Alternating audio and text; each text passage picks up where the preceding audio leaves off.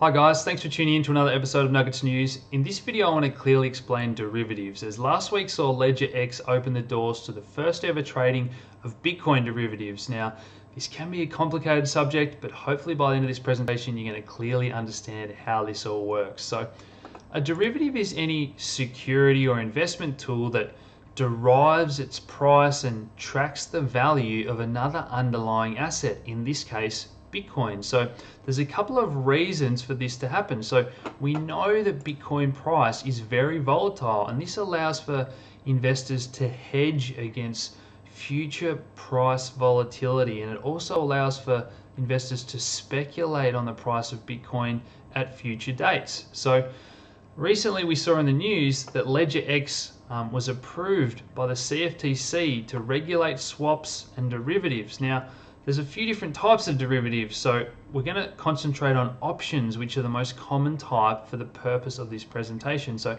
swaps are basically just an exchange of one security for another at a set future date, and futures are just the trading of a, a set asset at a set price at a future date. But we're going to concentrate on puts and calls, which are the two types of options which give investors the um, option to buy or sell at a future date at a set price. So again, you're starting to see why this is attractive for those big players in this space as they need these these tools um, before they flood in with this big money. It's going to further legitimize cryptocurrency as an asset class, allowing these big investment funds to to hedge against all the um, volatility we see in this space in general. So they've received approval from the CFTC um, to trade these swaps and options on digital currencies. So Ledger X is registered with the CFTC. Um, it's the first federally regulated exchange and clearinghouse to list and clear physically settled Bitcoin swaps and options for the institutional market. So again, exciting stuff. This is another on-ramp um, again, to prove that cryptocurrency is fast becoming a real asset class. Now, this is a, just a basic um, pull from their website of last week's data on the different options that are traded. So we can click on you know, a set date here. Um, again, we can see the put and the call that were traded on that day. So what's a put and what's a call? So Let's jump over to a real option chain and have a look at some Apple shares because I trade options for a living. So here we're looking at the price of Apple shares, $156, and we're looking at the option chain for the different months in the future. So let's just go to December and see what investors are trading um, option wise. So here we have the price sitting right in the middle here at 156 and we have every $5 there's investors making bets. So here we see puts which are an option to sell at, at this price in the future. So if you're a large investment fund and you own a lot of Apple shares, you might want to buy a, a 140 put, which means that you have the option to, if Apple shares are to crash in the future, you have the option to sell them to someone else for $140 and you can buy that option. So, and again, if you don't think this is likely to happen, if you don't think Apple shares are going to crash down to 140 or below, you would sell this option and this is how a market is created in options. And the flip side is calls so you have the option to buy at that set date in December in the future.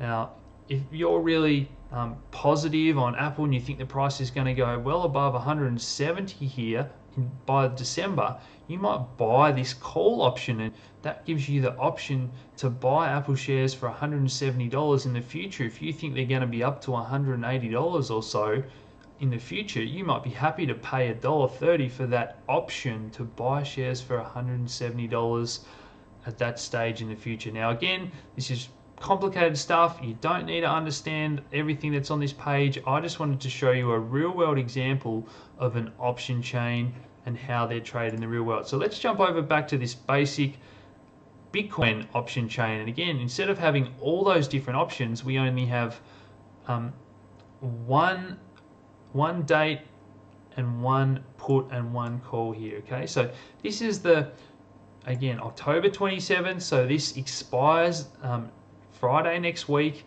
and this gives someone the option to sell a put Bitcoin to someone else at $5,600. So again, this is a way for investors to bet that they think the price is going to be below 5,600 or above 5,600 if they buy that call. They have the option to buy Bitcoin for this price in the future. And again, Bitcoin's obviously trading above that price at the moment. So obviously this is more expensive. So that's why someone would have to pay a lot of money to, for the option to buy Bitcoin at 5600 because it's already trading above that price. So again, complicated stuff. All you really need to get your head around is call is the option to buy something at this price in the future. Put is the option to sell something at that price in the future. And again, people are same as we have a bid and an ask, a buy and a seller for shares. People are buying and selling um, these options, making the bets about what they think the price is going to do in the future. And even if these things don't occur, it's just a way for those big institutions to hedge against the possibility of those fluctuations in price. So, what I want to talk about now is whether or not this is a good thing for the market in general. So, a lot of brokers are just going to offer what's called a CFD, so a contract for difference. So, they're not actually going to be buying Bitcoin. So, although there might be a lot of money come into the the space, the derivative space, it doesn't mean that that money is going to flow actually into cryptocurrency, into the Bitcoin market cap. So just like we see in gold, hedge funds can trade billions of dollars in, in, in notional value of, of derivatives, but there might not even be $6 billion worth of gold um, you know, in the in the physical market, the mines making that much gold in the real world. So yet we have these huge speculators and price and money flowing through derivatives. And you guys have probably heard about, you know, the stock market's going to crash because the derivatives far exceed the value of the underlying asset which which they're tracking, which I spoke about. So, you know, I'm not sure if this is a good thing or not. So allowing people to invest without actually um, owning the underlying asset, maybe we want more people flowing actually into Bitcoin to buy Bitcoin rather than all this big hedge fund money just speculating in derivatives and the money itself doesn't flow into Bitcoin itself, into that Bitcoin market cap. So, look, make with it off you will if you follow me on Hot Copper, okay, on the Australian stock market, you know that my signature down the bottom here is men in suits at keyboards should not determine the price of real goods produced by real people. And that's what I worry about. The fact that there's going to be all these computer algorithms and traders sitting in these hedge funds, trading back and forth on their derivatives you know, maybe pushing the price of, of cryptocurrency around without actually ever buying cryptocurrency, investing in the underlying asset. So make of that what you will. I hope you've enjoyed that presentation. Please hit like, subscribe if you haven't already, share these videos around, and as always, thanks for tuning in, guys. Cheers.